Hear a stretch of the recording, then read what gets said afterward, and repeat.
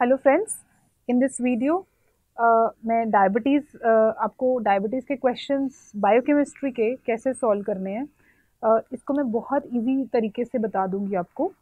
Uh, आपने पिछली video fasting पे देखी थी और फास्टिंग में जो भी होता है बॉडी में वही सारा कुछ डायबिटीज़ में होगा.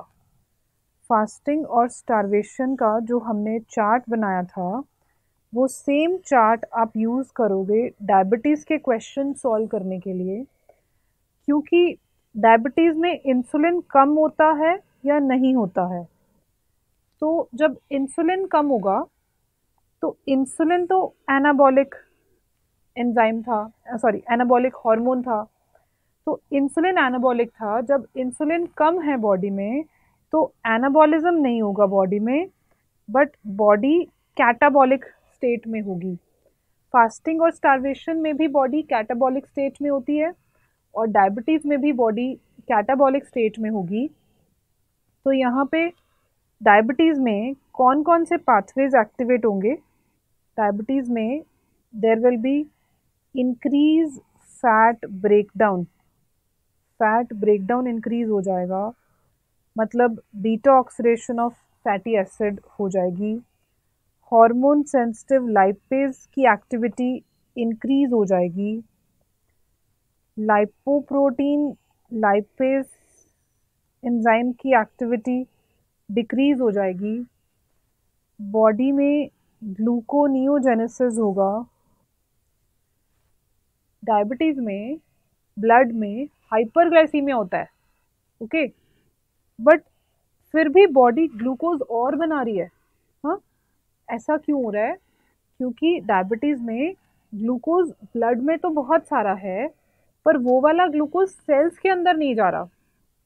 तो सेल्स सोच रहे हैं कि हम फास्टिंग में हैं।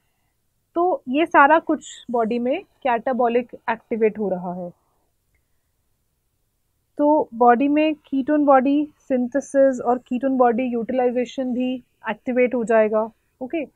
तो सारी ही कैटाबॉलिक चीज़ें बढ़ जाएँगी और एनाबॉलिक चीज़ें कम हो जाएँगी ओके बट एक चीज़ डिफरेंट है डायबिटीज़ और फास्टिंग में, वो क्या है कि सिर्फ़ एक एनाबॉलिक थिंग बढ़ जाएगी डायबिटीज़ में, वो भी क्रॉनिक केस ऑफ़ डायबिटीज़ में।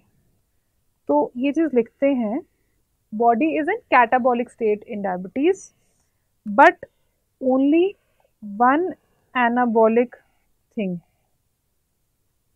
but only one anabolic thing is activated in liver of chronic diabetic patient सिर्फ़ एक चीज़ एनाबॉलिक इंक्रीज होगी वो भी क्रॉनिक केस में तो ये क्या है देखते हैं अब मैंने आपको बताया हार्मोन सेंसिटिव लाइपेज डायबिटीज़ में इंक्रीज हो जाएगा। ये एंजाइम ट्राइग्लिसराइड्स को ब्रेक करके फैटी एसिड रिलीज़ कर रहा है ब्लड में। ब्लड से ये फैटी एसिड्स लिवर में जा रहे हैं। लिवर में beta oxidation of fatty acids हो रही है और beta oxidation of fatty acid release करेगी एसिटाइल कोई तो ये होता रहेगा होता रहेगा। और क्रॉनिक डायबिटिक पेशेंट में लिवर में एक्सेस एसिटाइल कोए हो जाएगा। अब लिवर को क्या करना है इस एक्सेस एसिटाइल कोए का? अब लिवर थोड़ा सा तो इसको टीसीए में भेजेगा बट एक लिमिट है कि कितना टीसीए में जा सकता है। बट अब ये बहुत ज़्यादा इकट्ठा हो गया है। तो लिवर मजबूर हो जाएगा। कि ये जो एक्सेस एसिटाइल कोए है, इसको फैट सिंथेसिस में भेजने के लिए लिवर मजबूर हो जाएगा। ओके अब फैट सिंथेसिस मतलब फैटी एसिड्स बनेंगे ट्राइग्लिसराइड बनेगा कोलेस्ट्रॉल बनेगा।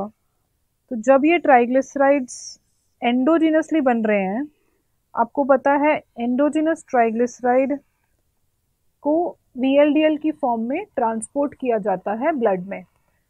तो इस पेशेंट में वीएलडीएल बढ़ जाएगा। कोलेस्ट्रॉल सिंथेसिस भी बढ़ जाएगी।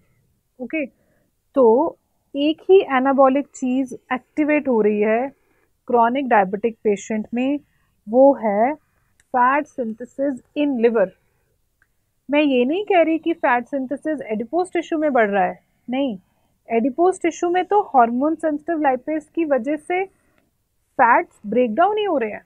कैटाबॉलिक सिचुएशन ही है। लेकिन क्योंकि ज़्यादा excess of acetyl CoA liver में पड़ा है तो उसको बस कुछ नहीं कर सकते, उसका फैट बनना शुरू हो जाएगा। तो फैट सिंथेसिस लिवर में हो रही है। Okay this is it with this video thanks for watching